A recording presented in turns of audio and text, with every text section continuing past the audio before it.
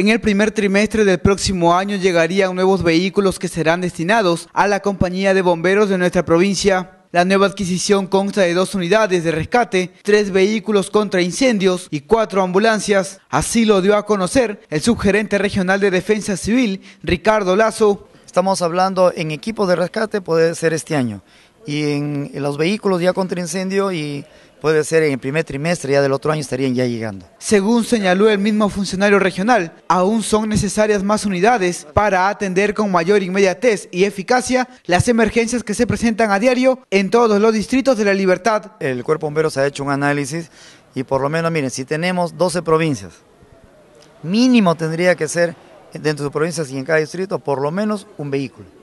estamos hablando de 83 distritos en general, necesitaríamos esa cantidad de vehículos, decir, ¿no?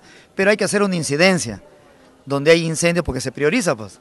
Si en esta zona casi no tenemos incendios, yo no voy a priorizar un vehículo grande como el que viene para acá. Ricardo Lazo además precisó que el letardo para adquirir estos nuevos vehículos es por el retraso en las gestiones de algunas autoridades. Este es un proyecto de inversión pública, donde va un concurso público y es internacional, se ha aperturado para todos. Entonces vienen los fabricantes y todos esos procesos tienen que cumplir unas normas.